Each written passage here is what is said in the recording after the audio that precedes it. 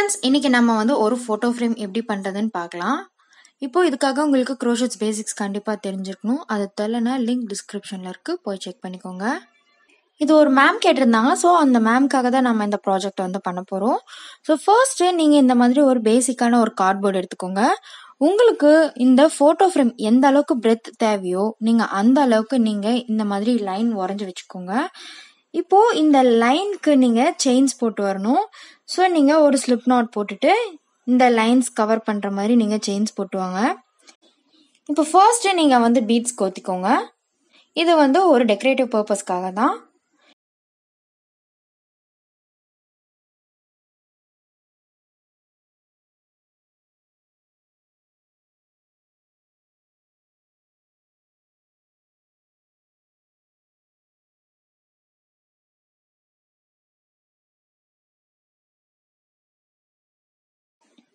இப்போ உங்களுக்கு தேவையான செயின்ஸ் போட்டு வந்ததுக்கப்புறம் நீங்கள் இந்த லைன் மேலே வச்சு பாருங்கள் கரெக்டாக ஃபிட் ஆகுதா அப்படின்னு. இப்போ கரெக்டாக செட் ஆனதுக்கப்புறம் நீங்கள் நாலு கார்னர்ஸையும் மார்க் பண்ணி வச்சுக்கணும்.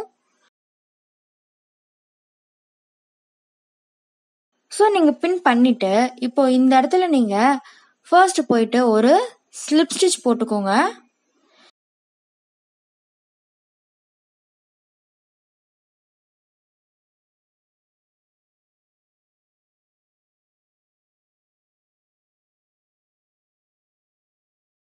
ஸ்லிப் ஸ்டிச் போட்டுட்டு நீங்கள் இந்த இடத்துல போயிட்டு மார்க் பண்ணி வச்சுக்கோங்க.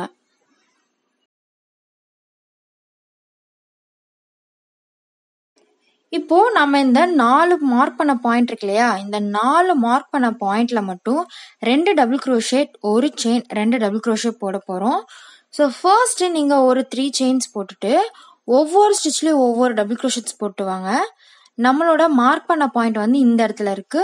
ஸோ அதனால ஒவ்வொரு ஸ்டிச்லேயும் ஒவ்வொரு டபுள் க்ரோஷட்ஸ் போட்டுவாங்க. அந்த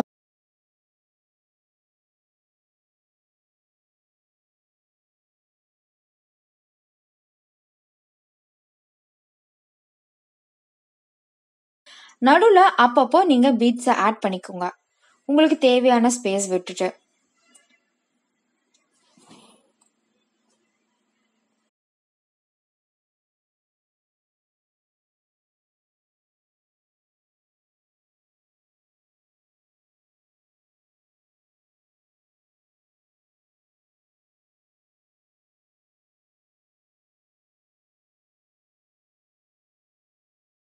ஒவ்வொரு ஸ்டிச்லேயும் ஒவ்வொரு டபுள் க்ரோஷெட்ஸ் போட்டு வாங்க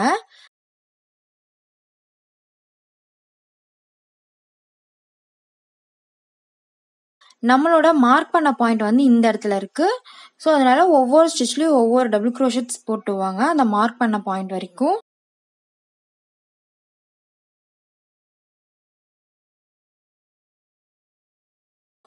ஸோ இந்த மார்க் பண்ண பாயிண்ட் வந்ததுக்கப்புறம் இந்த பின்னை எடுத்துட்டு அந்த இடத்துல நீங்க போயிட்டு ரெண்டு டபுள் குரோஷே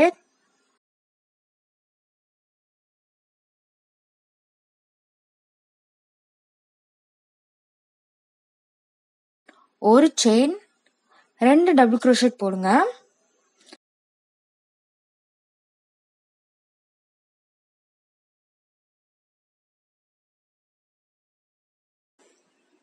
இப்போ நீங்கள் இந்த ரெண்டு டபுள் க்ரோஷெட் ஒரு செயின் ரெண்டு டபுள் க்ரோஷெட் போட்டு வந்ததுக்கப்புறம் இந்த செயின் ஒன் ஸ்பேஸை நீங்கள் போயிட்டு மார்க் பண்ணிக்கோங்க.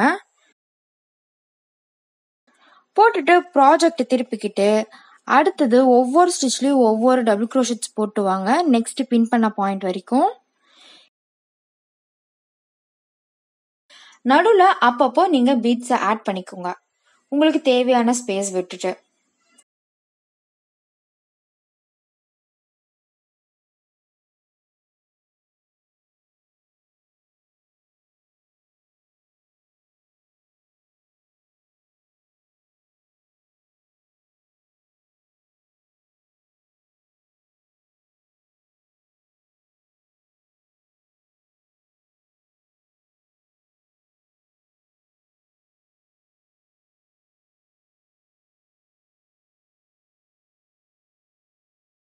இப்போ நீங்கள் நெக்ஸ்ட் பின் பண்ண பாயிண்ட் வந்ததுக்கப்புறம் இந்த பின்னை ரிமூவ் பண்ணிவிட்டு இந்த இடத்துல நீங்கள் போயிட்டு ரெண்டு டபுள் க்ரோஷெட் ஒரு செயின் ரெண்டு டபுள் க்ரோஷெட் போடுங்க.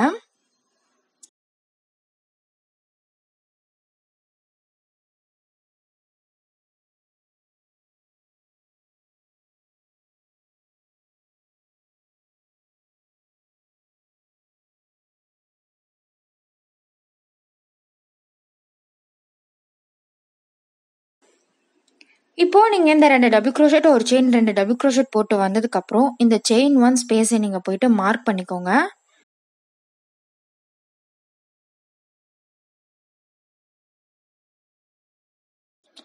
ஸோ இதே போல தான் நீங்கள் கண்டினியூ பண்ணிட்டு வரணும்.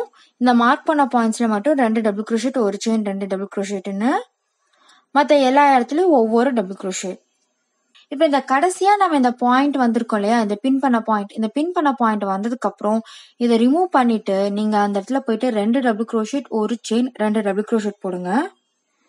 ஸோ இப்படி நீங்கள் டோட்டலாக கம்ப்ளீட் பண்ணிட்டு வந்ததுக்கப்புறம் நம்ம அந்த ஃபர்ஸ்ட் த்ரீ செயின்ஸ் இருக்குல்லையா அந்த தேர்ட் செயினோட டாப்பில் நீங்கள் போயிட்டு ஒரு ஸ்லிப் ஸ்டிச் போட்டுக்கோங்க.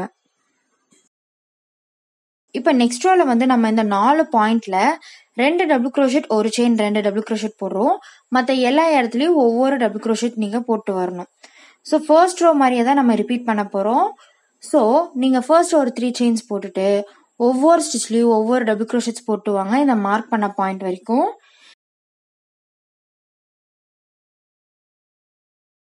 நடுவில் அப்பப்போ நீங்கள் பீட்ஸை ஆட் பண்ணிக்கோங்க. உங்களுக்கு தேவையான ஸ்பேஸ் விட்டுட்டு.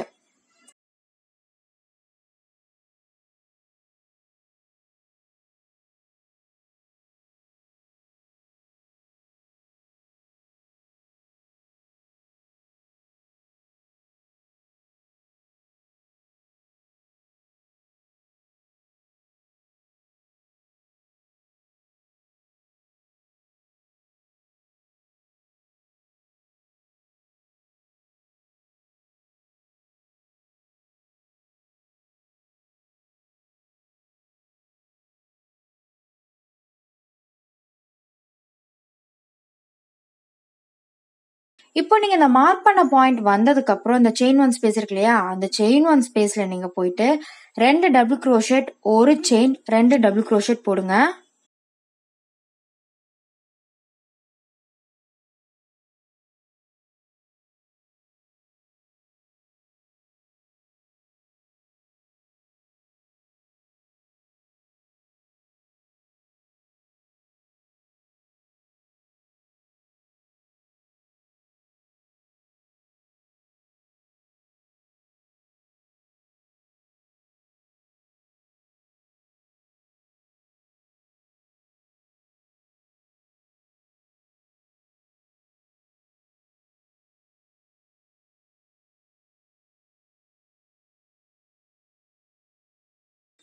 ஸோ இதே போல தான் அந்த செயின் ஒன் ஸ்பேஸில் நீங்கள் ரெண்டு டபுள் க்ரோஷெட் ஒரு செயின் ரெண்டு டபுள் க்ரோஷெட்னு கண்டினியூ பண்ணிட்டு வரணும். மற்ற இடத்துல ஒவ்வொரு டபுள் க்ரோஷெட் போட்டால் போதும். ஸோ இப்படி நீங்கள் டோட்டலாக கம்ப்ளீட் பண்ணிட்டு வந்ததுக்கப்புறம் இந்த செயின் ஒன் ஸ்பேஸில் போயிட்டு ரெண்டு டபுள் க்ரோஷெட் ஒரு செயின் ரெண்டு டபுள் க்ரோஷெட் போட்டுங்க.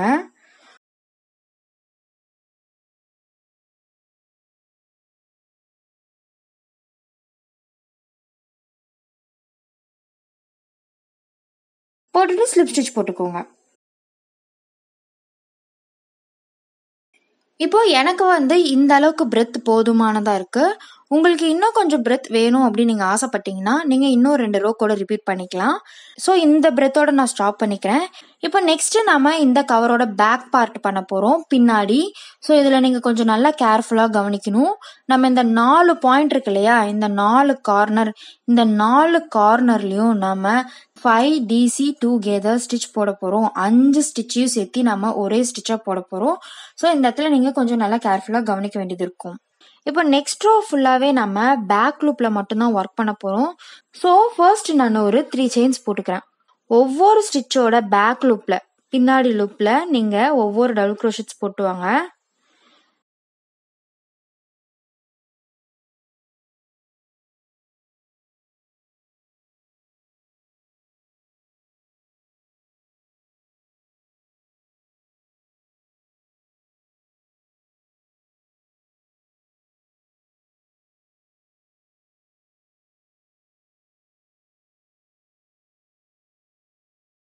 ஸோ நீங்கள் ஒவ்வொரு ஸ்டிச்சோட பேக் லுக் வந்து இந்த ரெண்டு ஸ்டிச்சுக்கு முன்னாடி இது வரைக்கும் நீங்கள் போட்டுட்டு வரணும்.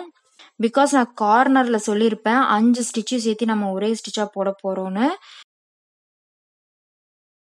இப்போ இந்த இடம் வந்ததுக்கப்புறம் இந்த அஞ்சு ஸ்டிச் நல்லா நோட் பண்ணி பாருங்க. இந்த அஞ்சு ஸ்டிச் இருக்கும் இந்த செயின் ஒன் ஸ்பேஸையும் சேர்த்து இந்த அஞ்சு ஸ்டிச்சையும் சேர்த்து நம்ம ஒரே ஸ்டிச்சாக கொண்டு வர போகிறோம் ஸோ ஃபர்ஸ்ட் ஒரு வாட்டி ஆன் ஓவர் பண்ணி இந்த ஸ்டிச்சோட பேக் லூப்பில் ஹூக்கை உள்ளார விட்டு பிடிச்சி இழுத்துட்டு ஃபர்ஸ்ட் டூ லூப்ஸில் மட்டும் பிடிச்சி இழுத்துக்கோங்க. அகெயின் ஒரு வாட்டி ஆன் ஓவர் பண்ணி நெக்ஸ்ட் ஸ்டிச்சோட பேக் லூப்பில் உள்ளார விட்டுட்டு ஃபர்ஸ்ட் டூ லூப்ஸில் மட்டும் பிடிச்சி இழுத்துக்கோங்க.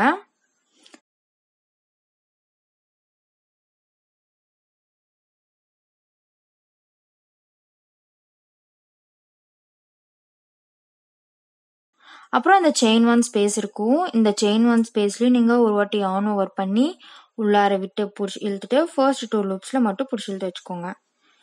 இதே ப்ரொசீஜரை நீங்க நெக்ஸ்ட் டூ ஸ்டிச்சஸ்லயும் பண்ணிட்டு வரணும்.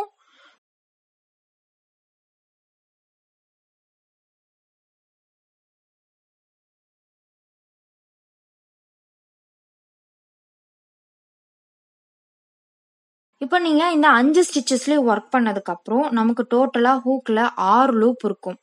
ஸோ இந்த ஆறு லூப்லயும் நீங்க ஒரு வாட்டி ஆன் ஓவர் பண்ணி உள்ளார விட்டு பிடிச்சி இழுத்துக்கோங்க. அதுக்கப்புறம் நெக்ஸ்ட் ஸ்டிச்சோட பேக் லூப்ல போயிட்டு ஒரு டபுள் க்ரோஷெட் போடுங்க.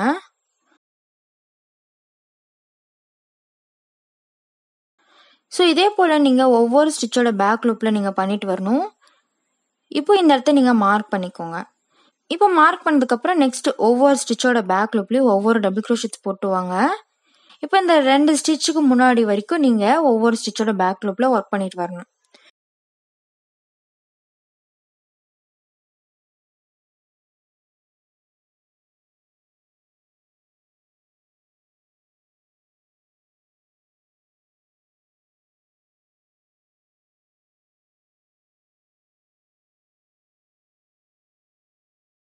ஸோ இப்போ இந்த பாயிண்ட் வந்ததுக்கப்புறம் நம்ம ஃபர்ஸ்ட் இந்த அஞ்சு ஸ்டிச்சையும் சேர்த்து ஒரே ஸ்டிச்சை தான் கொண்டு வர போகிறோம் ஸோ அதே ப்ரொசீஜரை தான் நம்ம இங்கே ஃபாலோ பண்ணணும்.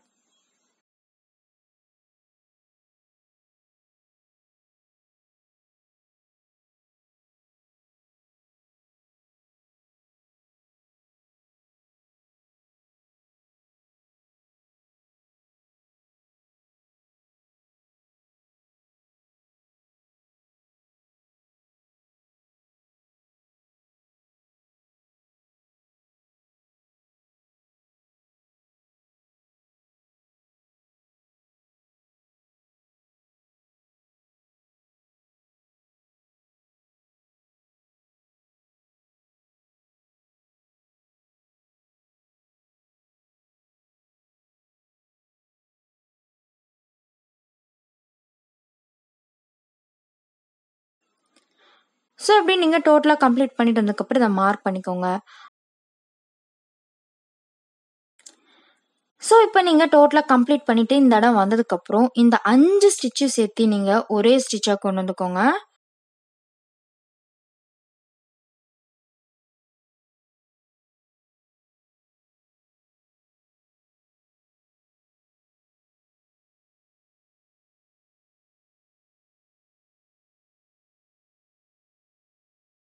கொண்டு வந்துட்டு நம்ம அந்த ஃபர்ஸ்ட் அந்த தேர்ட் செயினோட டாப்பில் நீங்கள் போயிட்டு ஒரு ஸ்லிப் ஸ்டிச் போட்டுக்கோங்க. ஸோ இப்போ நெக்ஸ்ட்டும் இதே ப்ரொசீஜர் தான். நீங்கள் அந்த நாலு கார்னரில் மட்டும் அந்த அஞ்சு ஸ்டிச்சு சேர்த்து ஒரே ஸ்டிச்சாக நீங்கள் போட்டுக்கணும். மற்ற எல்லா இடத்துலையும் ஒவ்வொரு டபுள் க்ரோஷத்து போட்டுக்கணும். ஸோ இப்போ இந்த இடத்துல நீங்கள் ஸ்டார்டிங்கில் நல்லா கவனிச்சுக்கோங்க. இப்போ நான் இந்த இடத்துல ஸ்டார்ட் பண்ணுறேன் இல்லையா? ஸோ இந்த இடம் வந்து நம்ம அந்த அஞ்சு ஸ்டிச்சு சேர்த்து ஒரே ஸ்டிச்சாக போடுற இடம். அதனால நான் என்ன பண்ணுறேன் அப்படின்னு பார்த்தீங்கன்னா ஃபர்ஸ்ட் ஒரு டூ செயின்ஸ் போட்டுக்கிறேன். டூ செயின்ஸ் போட்டுட்டு நெக்ஸ்ட்டு ஸ்டிச்சில் போயிட்டு ஒரு டபுள் க்ரோஷெட் போடுறேன். இப்போ இந்த இடத்துல ஸ்டிச்சஸ் எப்படி இருக்கும் அப்படின்னு பார்த்தோம்னா இந்த ரெண்டு ஸ்டிச்சு சேர்த்து ஒரே ஸ்டிச்சை நம்ம கொண்டு வந்த மாதிரி இருக்கும். நம்ம இந்த ரவுண்ட் கம்ப்ளீட் பண்ணிட்டு வந்ததுக்கப்புறம் மிச்சம் இருக்கிற மூணு ஸ்டிச்சையும் சேர்த்து நம்ம ஒன்றா போட்டுப்போம். ஸோ இந்த இடம் மட்டும் நீங்கள் நல்லா நோட் பண்ணிக்கணும். அதுக்கப்புறம் ஒவ்வொரு ஸ்டிச்லேயும் ஒவ்வொரு டபுள் க்ரோஷட்ஸ் போட்டுவாங்க. ஸோ இப்போ நீங்கள் ஒவ்வொரு ஸ்டிச்லேயும் ஒவ்வொரு டபுள் க்ரோஷட்ஸ் கம்ப்ளீட் பண்ணிட்டு வந்ததுக்கப்புறம் இந்த இடம் வந்ததுக்கப்புறம் இந்த அஞ்சு ஸ்டிச்சையும் சேர்த்து நல்லா நோட் பண்ணி பாருங்கள் இந்த அஞ்சு ஸ்டிச்சையும் சேர்த்து நீங்கள் ஒரே ஸ்டிச்சாக கொண்டு வரணும்.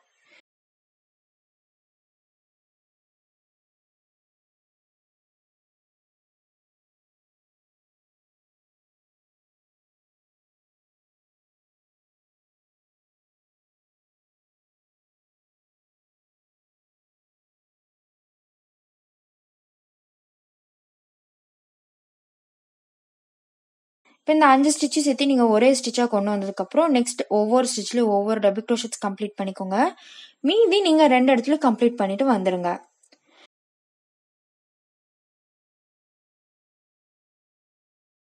ஸோ இந்த ரெண்டு கார்னர்லையும் நீங்கள் கம்ப்ளீட் பண்ணிட்டு டோட்டலாக வந்ததுக்கப்புறம் நான் சொன்னேன் இல்லையா? இந்த இடத்துல வந்து இந்த மூணு ஸ்டிச்சு சேர்த்து நம்ம ஒரே ஸ்டிச்சாக போட போகிறோன்னு ஸோ இந்த இடத்துல மூணு ஸ்டிச் தான் பேலன்ஸ் இருக்கும். பிகாஸ் நம்ம ஃபர்ஸ்ட்டு ரெண்டு ஸ்டிச்சு சேர்த்து ஒரே ஸ்டிச்சை நம்ம ஆரம்பத்திலே போட்டுட்டோம். இப்போ இந்த மூணுத்தையும் நீங்கள் ஒரே ஸ்டிச்சாக கொண்டு வந்து வச்சுக்கோங்க.